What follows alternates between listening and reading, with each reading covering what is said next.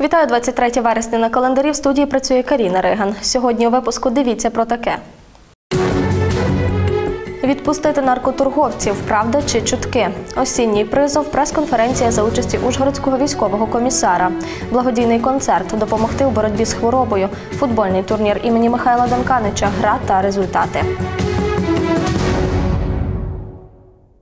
Президент Володимир Зеленський підписав прийнятий Верховною Радою закон про особливу процедуру усунення президента України з поста. Цей закон набирає чинності із дня наступного за днем його опублікування. Він виписує процедуру імпічменту. Підставою для ініціювання імпічменту є письмове подання, підписане більшістю народних депутатів. Цей документ має містити правове обґрунтування створення спеціальної тимчасової слідчої комісії, яка розслідуватиме факт і обставини державної зради або іншого злочину, вчинених президентом. Інформація про те, що затриманих наркоторговців судді Ужгородського міськрайонного суду відпустили під заставу, сколихнула громадськість. Про це свідчить негативні обговорення у соцмережах. Обурює людей, що порушників, більшість із яких уже не вперше затримують за торгівлю наркотиками, відпустили за порівняно незначні суми застави 94-144 тисячі гривень. Крім того, одне із інтернет-видань поширило відомості про те, що один із суддів знаходиться у родинних стосунках із затриманим. Чи правдива інформація з'ясовувала моя колега? Інформацію оприлюднену у соцмережах та інтернет-виданнях про те, що з дев'яти наркоділків, яких затримали минулого тижня на Закарпатті, семеро вже відпустили під заставу, обурила громадськість. Найбільше люди невдоволені тим, що відпустили правопорушників, які вже перебувають під слідством у аналогічних справах. Крім того, суми застави 94-144 тисячі гривень е, вражають своєю мізерністю. А також те, що один із суддів перебуває у родинних стосунках із одним із затриманих. Нагадаємо, 17 вересня у ході 40 санкціонованих обшуків з процесуального керівництва прокуратури спільно з співробітниками СБУ виявлено та вилучено наркотичні засоби вартістю понад півмільйона гривень, а також зброю і гроші. У результаті викрито і затримано дев'ятьох закарпатців, які збували наркотики на Ужгородщині, Мукачівщині та Тячівщині. обурює. Е, Я живу недалеко від це, е, дуже смутно і багато, можна сказати, закарпатців, ушгородців користуються такими поганими звичками. То є велика біда. Я рахую, то зовсім страшно. цього страшно негативно, враховуючи те, що і вдома є молодь. Затримано наркоділків у порядку статті 208 Кримінально-процесуального кодексу України. До обрання запобіжного заходу їх утримували в ізоляторі. Звернутися до суду із клопотаннями слідчого, який процесуальний прокурор погодив про обрання всім дев'ятьом затриманим запобіжних заходів у вигляді тримання під вартою. За результатами розгляду вказаних клопотань сім з них були задоволені, але при цьому суддями було обрано можливість несення застави е, вказаними підозрюваними. Стосовно двох інших е, підозрюваних судом було прийнято рішення про обрання їм запобіжного заходу у вигляді домашнього арешту. Протягом минулого тижня почергово за рішеннями Ужгородського міськрайонного суду сімох затриманих відпустили під заставу від 94 тисяч до 144 тисяч гривень. Причини передумов для визначення такого розміру застави, а також щодо запобіжного заходу вигляді е, домашнього арешту, можуть бути відомі лише е, коли буде повний текст виготовлений даними слідчими суддями е, даних рішень суду. Його на даний момент немає, а тому е, передчасно коментувати, чому дійшли вони до такого висновку, що спонукало. Е, Колектив суддів е, також негативно ставиться до такої категорії справ і такої категорії злочинів. Що стосується родинних стосунків одного із суддів та затриманого, голова Ужгородського міськрайонного суду підтвердив цю інформацію. Дійсно, е, в деякі, е, деякі е, відповідає інформація, де деякі галузі, чи є родичем.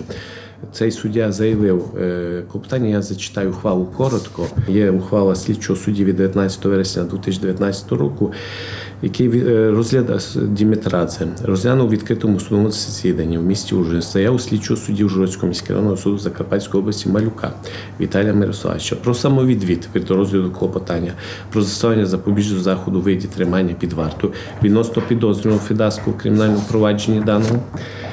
Однак е, Він е, не задовільнив дану заяву з- огляду те, що не бачив підстав У прес-службі прокуратури повідомили про оскарження двох рішень суду стосовно домашнього арешту та обрання запобіжного заходу тримання під вартою з можливістю внесення застави стосовно ужгородця, який фігурує ще у двох кримінальних провадженнях, де він обвинувачується у торгівлі наркотиками у складі організованих злочинних груп. Злякавшись прикордонників, контрабандисти не донесли до Угорщини 6 тисяч пачок цигарок. Випадок трапився у неділю увечері. Як розповідають прикордонники, наряд вимагав зупинитися, але контрабандисти покинули цигарки та кинулися тікати. Оглядаючи місцевість, прикордонники знайшли 12 пакунків, у яких знаходилося 6 тисяч 200 пачок сигарет. Також неподалік місця інциденту було виявлено і засіб, за допомогою якого планували подолати контрольно-слідову смугу. Цигарки зібрали та незабаром передадуть ДФС. Двічі на рік у всіх областях країни проводять набір на строкову військову службу у Збройних силах України. Закарпаття не виключення. Так, план по військовому весняному призову на Ужгородщині виконали на 100%. Із 1 жовтня по 31 грудня 2019 року триватиме осінній призов. Аби знову виконати план та роз'яснити особливості цього набору, в Ужгородській міській раді організували прес-конференцію за участі Ужгородського військового комісара, представників медичної комісії та міської влади. Деталі за Іриною Ковальчук. З 1 жовтня 2019 року стартує черговий призов на строкову військову службу до лав Збройних сил України. Триватиме набір до 31 грудня. 100-120 чоловік призовного віку, а це чоловіки від 18 до 27 років. Такий план передбачено на міста Ужгород і Чоп, Баранинську ОТГ та Ужгородський район. з 1 жовтня зобов'язані з'явитись у військовий комісаріат. Я наголошую, не хочуть, не можуть, не необхідно їм з'явитись. Вони зобов'язані з'явитись у військовий комісаріат для проходження медичної комісії. Після цього проходить е, відбувається рішення призовної комісії.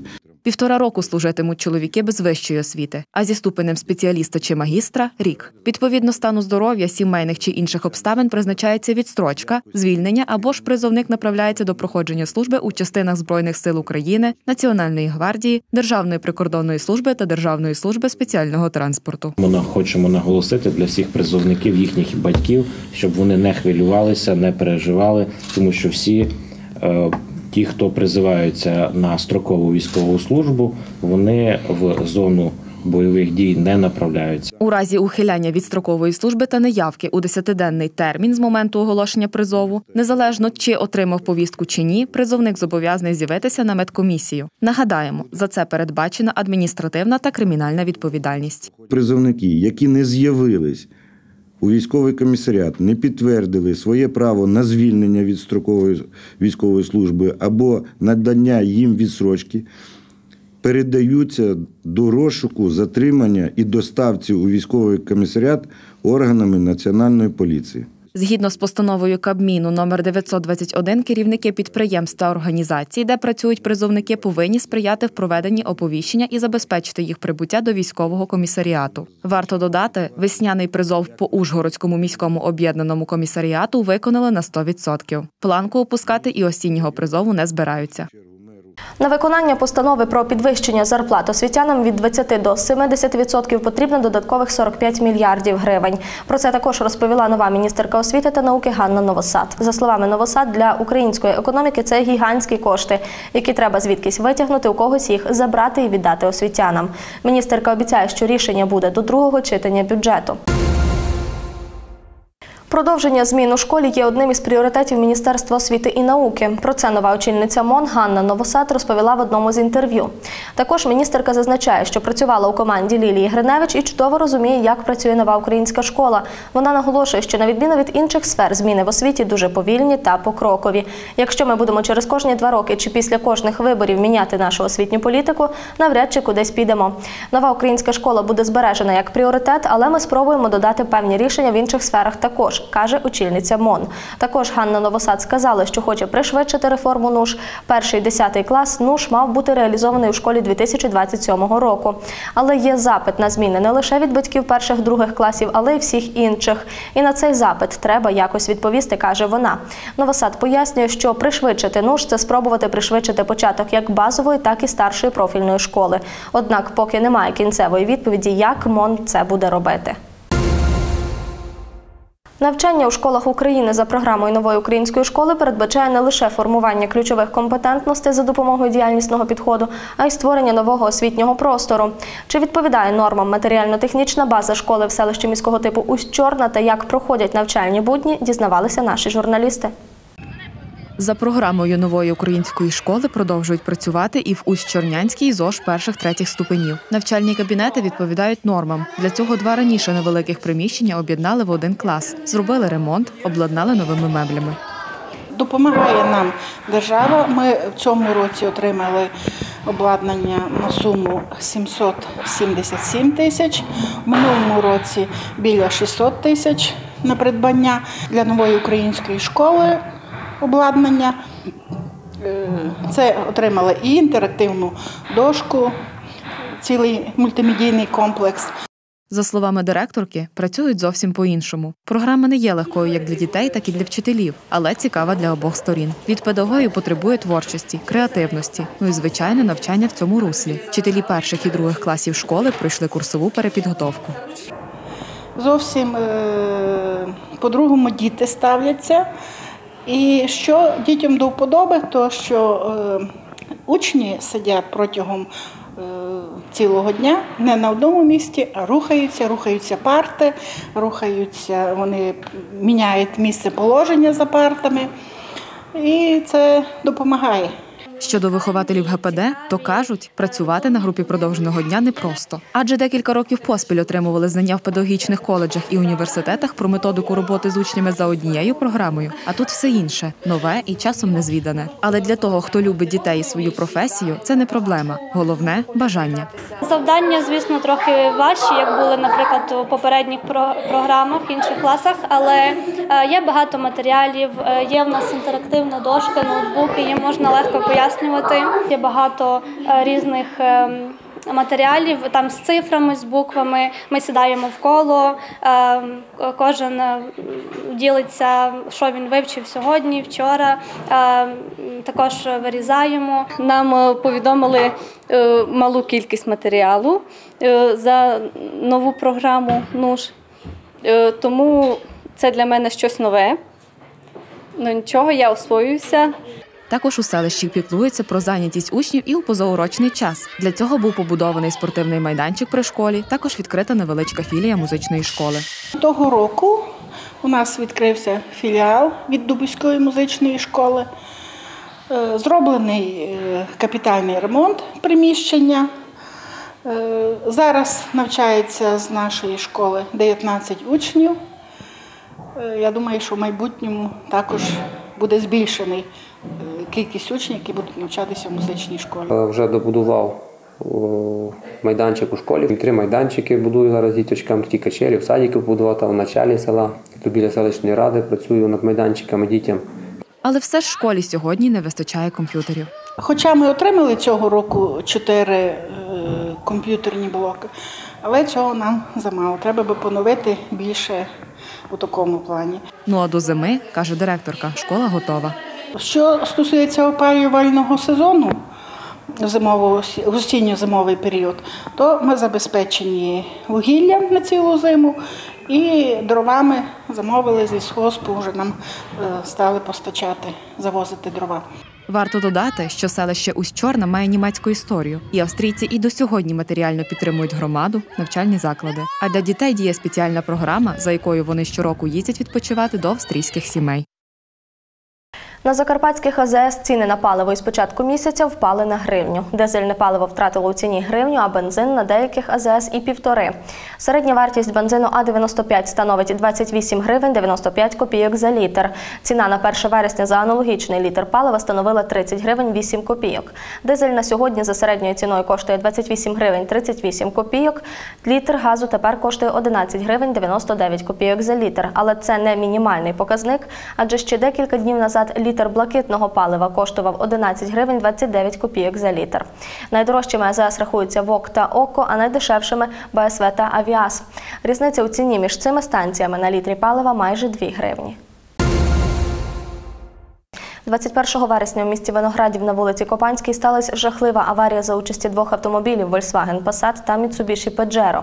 На місці події слідчо-оперативна група з'ясувала, що нетверезий водій Mitsubishi Pajero 1987 року народження рухався у напрямку села Велика Копаня. Виїхав на зустрічну смугу та зіткнувся із зустріченим автомобілем марки Volkswagen Passat. Від удару одне із авто перекинулося на дах. На жаль, водій Volkswagen 1961 року народження загинув від отриманих травм. Відкрито провадження за частиною 2 статті 286 Кримінального кодексу України, тобто порушення правил дорожнього руху, що призвело до смерті людини. Водія Mitsubishi, мешканця Міжгірського району, затримано та поміщено до ізолятору тимчасового тримання. На в'їзді до Виноградова автомобіль зіткнувся із мотоциклом. Аварія сталася вчора зі сторони села Онок. За попередньою інформацією, водій автомобіля Форд наздогнав мотоцикліста. У результаті ДТП постраждав керманич мототранспорту, якого доправили до лікарні медики швидкої. На місці працювали правоохоронці. Обидва транспортні засоби за допомогою спецтехніки було евакуйовано із місця аварії. На Тячівщині молодий мотоцикліст влетів у Тойота. Аварія сталася вчора, 22 вересня, близько 13.10 у селі Наресниця на Тячівщині. Як повідомляє управління Національної поліції Закарпаття, на місце виїхала слідчо-оперативна група, яка з'ясувала, що водій автомобіля Тойота Яріс, 19-річна мешканка села Нересниця, здійснюючи маневр, повернула на зустрічну смугу, де зіткнулася із мотоциклістом. Водія мотоциклу від удару відкинуло. За кермом був 29-річний мешканець села Тисолово. У важкому стані його було госпіталізовано до реанімаційного відділення райлікарні. Закарпатський митник, який пропустив тонну бурштину, розкаявся і його відпустили. Відповідне рішення виніс Берегівський районний суд Закарпатської області. Нагадаємо, 30 вересня минулого року 1,1 тонни бурштину було виявлено у мікроавтобусі місцевого мешканця. Його акуратно розфасували по дорожнім сумкам, які знаходилися у вантажному відсіку авто. Тоді інспектору поста Лужанка інкримінували службове підроблення, частина 1 статті 366 Кримінального кодексу України. Він вніс у базу неправдиву інформацію, що у мікроавтобусі, який їхав у Молдову, немає товарів, які підлягають декларуванню. Також поставив відтиск своєї печатки на контрольному талоні для проходження машини по зеленому коридору. Повідомляє портал. Вже у червні цього року митник подав клопотання, в якому просив звільнити його від кримінальної відповідальності у зв'язку із дійовим каяттям. Чоловік вперше вчинив злочин невеликої тяжкості, щиро розкаявся та активно сприяв розкриттю злочину, про що, начебто, свідчать матеріали. Злочином, що йому інкримінували матеріальної шкоди, не завдано йдеться у повідомленні. Прикордонники затримали чотирьох в'єтнамців, які гуляли Ужгородом. Прикордонники Чопського загону разом з національною поліцією побачили на вулиці Ужгорода людей азіатської зовнішності і вирішили перевірити документи. Виявилося, іноземці не мають жодних документів, які б надавали дозвіл на перебування в Україні. Усі четверо назвались громадянами В'єтнаму. Чоловіків забрали у відділ прикордонної служби Ужгород. Наразі підтверджуються їх особи та встановлюється, яким чином вони потрапили до України. Після цього їх буде притягнуто до адміністративної відповідальності за порушення прикордонного режиму. У Мукачівському замку Паланок пройшов благодійний концерт. Влаштували його небайдужі містяни, аби зібрати гроші на лікування 26-річної Крістіни Качур, яка бореться із раком крові. Більше про добру справу знають наші журналісти. У наших попередніх випусках ми вже розповідали про молоду маму Крістіну Качур, яка бореться зі страшною недугою раком крові. Дівчина вже пройшла три курси хіміотерапії в сусідній Угорщині. Залишилось ще три. Лікування потребує значних коштів і для того, щоб підтримати і допомогти закарпатці, небайдужі мукачівці у замку Паланок організували благодійний концерт. Минуло три роки, майже як ми провели перший свій такий подібний концерт, як відбудеться сьогодні. І ми побачили, що воно насправді об'єднує дуже багатьох людей, які хочуть допомогти, але з елементом такого концертного варіанту. Організували на території замку і невеликий ярмарок, до якого також долучилося чимало небайдужих мукачівців. На ярмарку дуже багато людей відгукнулися. Хто тістечка принесе, хто щось ручну роботу зробив, хедмейди. Багато хто підключився і з е, обітниці е, благодійного фонду діточки 4-6 років. Вони з своїми вихователями робили такі цукерочки зефірки. Потім одна матуся з своєю донечкою ввечері е, зробили цукерки солодкі для того, щоб ми могли це все продати. І виручені кошти пішли на лікування цій дівчині.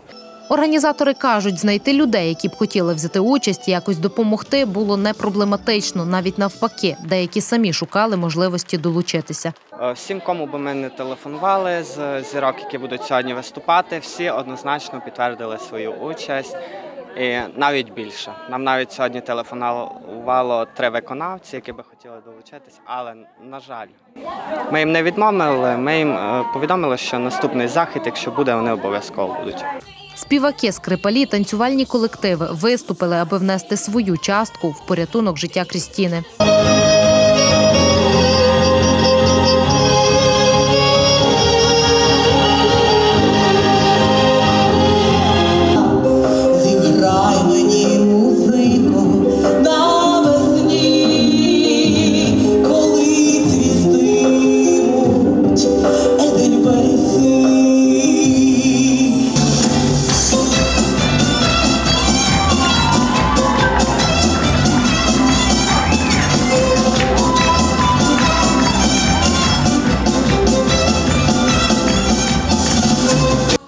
Благодійного концерту кажуть, що робити добро легко. Головне в такі скрутні часи об'єднуватися і не впадати у відчай. А насправді наша хвиля хвиля радіо Закарпаття ФМ активно долучилася до підтримки, медійної підтримки, тому що Крістінка, ми з нею вже давно товаришуємо.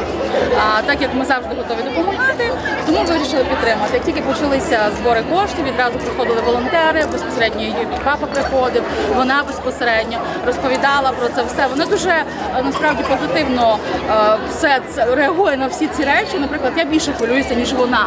В неї якось все так, от все буде добре, все буде добре, однозначно. І тому ми не могли просто залишатися осторонь. Я люблю допомагати людям. Прошлий раз, коли був тот благотворительний концерт, тот бал, я теж туди приходила. І я вважаю, що ну, всі ми маємо допомагати. Варто додати, що сама Крістіна Качур концерт відвідати не змогла, оскільки перебуває за кордоном на лікуванні. Вона дуже хоче бути присутня, але зараз вона на четвертій хіміотерапії. Е, Вже пройшла, вона зараз на реабілітації в Дебрецені. Е, Чудовий в неї настрій, дуже довольна, аж мурашки по по шкірі. Дуже, дуже задоволена, дуже вдячна. В кінці заходу було оголошено, що загальними зусиллями вдалося зібрати 300 тисяч гривень, які передадуть Крістіні Качур.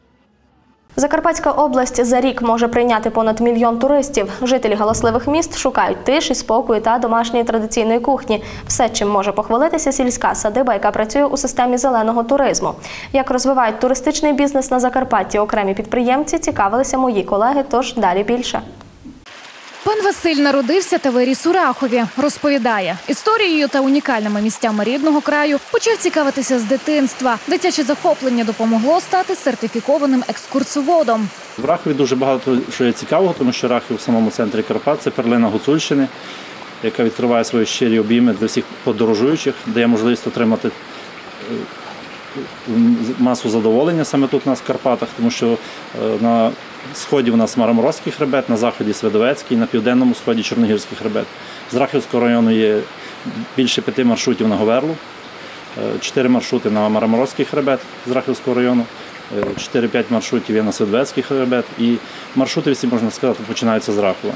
За словами чоловіка, коли побачив, наскільки Закарпаття манить мандрівників, почав працювати над туристичним розвитком Рахівщини. Власними зусиллями спорудив садиби на вершині гори, облаштував їх всім необхідним для подорожуючих і не прогадав. Відтоді садиби пані Василя майже ніколи не бувають порожніми. Коли е, відкрив садибу для туристів, то мені друзі порадили побудувати ще сауну, то на даний час ще є сауна, є ставок з форелю. Е, Можна ловити на вудочку, порибачити і можна приготувати в мангалі на вуглях е, форель. Дуже людям подобається, тому що вона вирощена в проточній воді гірській, не озерна, не, не, в стоячій воді. На території моєї ділянки є сіновал, можна в сіновалі відпочивати, є пасіка, вуликотерапія, можна на вуликах поспати, є качелі з видом на гори. Е, Річка гарна, мінеральне джерело 50 метрів біля будинку сірководневе. Чоловік каже, відпочинок на Закарпатті назавжди залишається у пам'яті кожного туриста. За час своєї діяльності екскурсовода переконався, той, хто був тут один раз, обов'язково повернеться знову. Людям дуже подобається. Хто приїжджав сюди раз, то він каже, що дуже шкодують, що раніше не приїжджали, що тут дуже гарно на Рахівщині. І зараз буде сезон золотої осені, то так як у нас дуже гарні мішані ліси і листя них дуже багато, то дуже людям подобається. Вони навіть не вірять, що такі барви, що то не намальовано, то дійсно жива природа. Пан Василь додає, що півстоліття тому зелений туризм на теренах нашої області був майже невідомим. Нині цей вид відпочинку розвивається шаленими темпами, і старання окремих підприємців, які власними силами облаштовують відпочинкові зони для подорожуючих, тільки сприяють цьому. Нещодавно пройшов щорічний футбольний турнір серед команд навчальних закладів області. Цей турнір проводиться на честь Михайла Данканича, колишнього директора Мукачівського професійного аграрного ліцею. Цього року у змаганнях взяли участь сім команд із усього Закарпаття. Більше дивіться у наступному сюжеті. 20 вересня в Мукачеві відбувся щорічний футбольний турнір серед команд навчальних закладів області. Спортивне дійство, присвячене пам'яті нашого земляка, колишнього директора Мукачівського професійного аграрного ліцею Михайла Данканича, відзначило вже 28-му річницю. Ми його проводимо для пропаганди футболу серед молоді області, також шанування пам'яті Михайла Михайловича, колишнього нашого директора ліцею, і, звичайно, визначимо переможця цього турніру. Привітала учасників турніру і сестра Михайла Данканича. Я дуже дякую всім, що ви так зібралися тут. І в такий гарний сонячний день сьогодні. Але цього би не було, якби, звичайно, Василь Васильович Ковбаско не був на чолі цього організаці- організаційного турніру. Михайло Михайлович Данканич, ім'ям якого назвали цей турнір, був хорошою людиною та відмінним педагогом, кажуть у ліцеї. Він віддавав себе повністю дітям, він своїх дітей не мав. Він зранку від 7 годин до вечора, до 8, до 6 був на роботі. Багато зробилося, майже весь новий комплекс побудований зараз, де ми навчаємося, це за його зусиль, нервів і винахідливості. Крім того, я повинен сказати, що там, де ми зараз навчаємося, то було озеро, де не так давно, то все було робота зроблена педагогічним колективом учнівським разом під керівництвом Михайла Михайловича. Він навіть помер на своєму робочому місці. Привітати гравців та вшанувати пам'ять Михайла Данканича прийшли чимало людей. Серед них і колишні учасники турніру, і випускники Мукачівського професійного аграрного ліцею імені Данканича.